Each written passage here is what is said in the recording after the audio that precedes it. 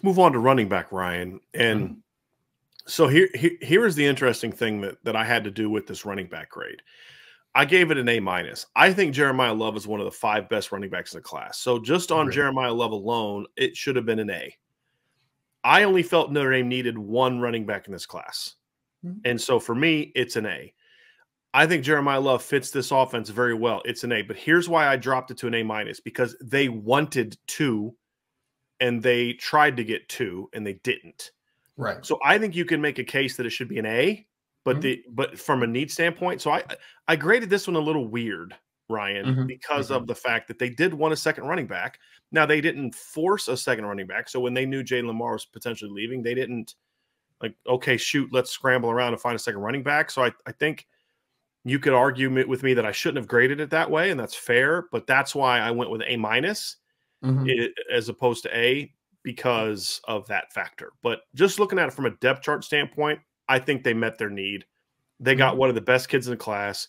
And one of the big picture needs that they had in this class, Ryan, was, was adding more impact home run talent. Mm-hmm.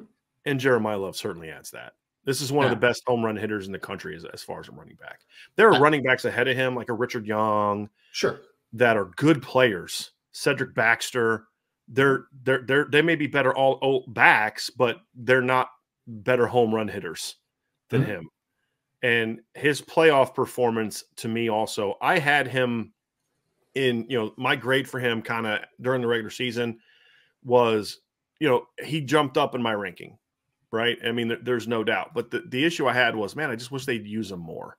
and that was my knock. It's like when he plays and they actually use him, man, he's really good but they just didn't use him enough. And then that changed.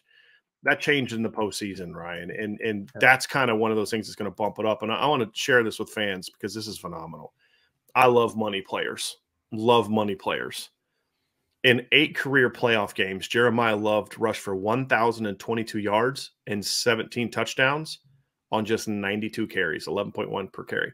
Keep in mind also that as a junior in one of the playoff games, he had like one carry. It was a game they won by like 50. So that counted as one of the eight games that he played in. Mm-hmm. Is a game he had one. I think the first round playoff game this year was a, also like a forty point win. He had like three carries. So was keep it, that in it, mind when you look at his thousand yards in eight games in the playoffs. Wasn't that one game? Didn't he have a one carry for like twenty yards and a yes. touchdown or something? That was like that? last year. It was the same team both years in the first round. It was it was where Kyren Williams went to high school. Vianney, right? Vianney, yeah. Vianney, whatever. And so he had like in two years in the playoffs, he had like three or four carries against them in the first round of playoffs both years keep that in mind when you're looking at his like you could argue his two best career games were this year's state title game where he had over 200 yards rushing and over 100 yards receiving in last year's semifinal game where he had over 200 yards i believe over 200 yards rushing as well. When the game when the games are the biggest jeremiyah love was at his best and that speaks volumes because at notre dame you have to have that kind of player.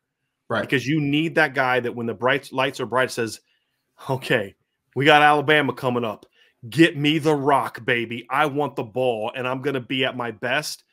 That's what you win championships with is mm-hmm. that kind of not just the talent, Ryan, but it's the mindset.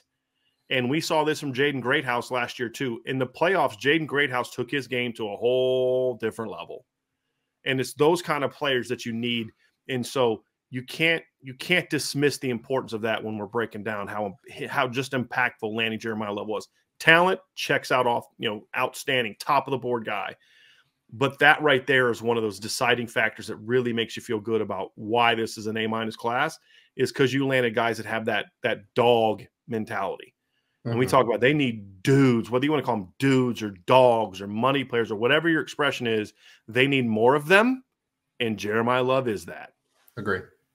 Well, and that state title game was against Lee Summit North, who is a very good football team, and they have a five star defensive end in 2024 in Williams and Nwaneri. So, I mean, they got dudes on that side of the ball. I mean, he played a playoff game against uh, AJ Epenesa's brothers, one of the top 2025 kids at defensive end as well. So, I mean, he's playing against good competition on his level. And when he got the football, he did something with it, man. You know who else, Bryan, would would say that yes, he needed the ball more. It would be Jeremiyah Love would be a guy that said he needs the ball more. He would tell you straight up in interviews, man, like I need the ball more. Like I agree, yeah. I agree with you. So he's a fantastic player. He is, and I think that when you looked at where they were originally, right? You had a Sedrick Irvin Jr., and then it looked like, you know, do you get a Jayden Limar to kind of bolster that because it's not maybe the talent level that you need at the position, but then you get two good football players, right? And then you got to a situation where now you have Jayden Limar. Jayden Limar is a nice complementary back, no doubt, but let's get a guy that could be potentially the three down guy, the lead back type. So then you go after Jeremiyah Love. And even with losing a Jayden Limar late in the process, I think that you look now and if if the situation was reversed a little bit, you know, if you get a Jeremiyah Love early in the process, maybe you just stop with the second running back push, right? It's just the fact that you got the complimentary running back first, and then you were like, but I still right. need more. You know right. what I mean? So I think that it would have maybe changed the mindset slightly if you would have got Jeremiyah Love first. Like maybe Chad and the staff would just be like, you know what? Like we don't really need We're a second back. Like let's let's let's here. use our resources on a different type of position, right? Like maybe we could do something different here.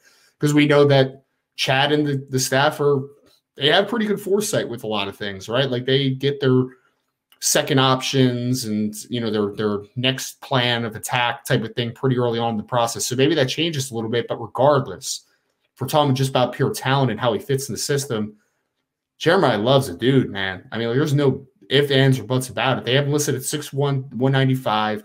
Think he could steadily be 215 plus pounds and not lose an ounce of athleticism, lateral quickness, home run speed. He's got some physicality to him.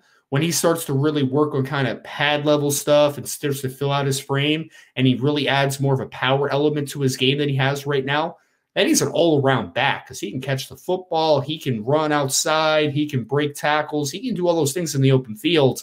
But when he adds power, then we're talking about there's I think there's a legit conversation, Bryan. I don't know if you agree with this, but because I agree with you, there's a couple nice backs at the top. You know, you mentioned mm-hmm. Cedric Baxter, you mentioned Richard Young, Rueben Owens is a really talented football player. There's no doubt.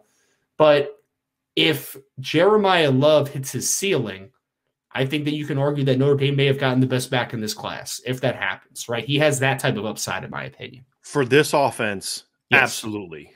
Yep. Yeah. Like so, like at Georgia, George would be better off with a Richard Young type, right? So that. that's where that's where that's why fit is so important, right? Like Richard mm-hmm. Young's a heck of a back. I believe he mm-hmm. was my number one back last year. Uh, yeah, he was my number one back. I had him as the number 15 overall player in the country. I had Cedric Baxter right behind him. I like Cedric Baxter a lot, but I think Rueben Owens is a really good back. I think Rueben Owens at Alabama fits them great if they do what they did in the past. I think the concern there is you're going to Alabama. Are they going to try to do with you what they've done at running back last year with Jahmyr Gibbs? I don't think he fits that offense that great. I have a feeling Nick Saban's going to want to go back to being able to run the football. I, I just when you look at the two running backs they land, Justice Haynes still signed with Alabama yesterday. Yes, correct? he did. Yep. Those are two backs that you're putting in a a Bama offense from five years ago, not what they're doing right now. So I have a feeling he's going to demand a little bit more running of the football. Yes and they fit that system well. They fit the Georgia system well. But for what Notre Dame does and what I think Notre Dame wants to be, yes, they're going to run duo, but also a team that runs zone, that runs the ball outside to get the ball. And here's the thing, too Jeremiyah Love's a very good blocker. Yeah. A very good blocker already.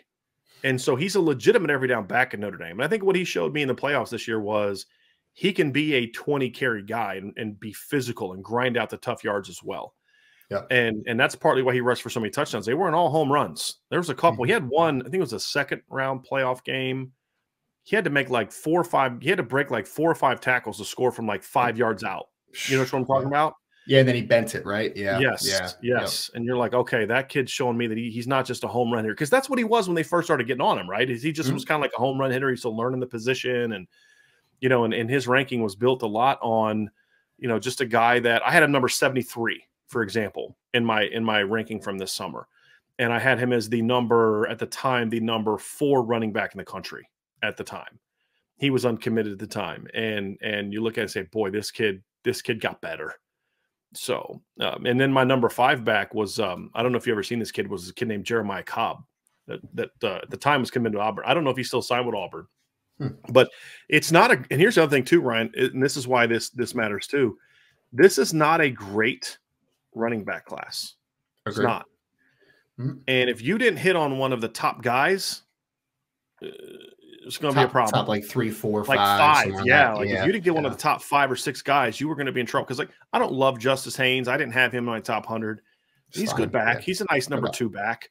Mm-hmm. But there was a big drop off between the top four or five and kind of everybody else. I only had five running backs in my top hundred over the summer. Now I don't have I haven't redone my top hundred. There's some backs I still have to evaluate see how they did as seniors, but mm-hmm.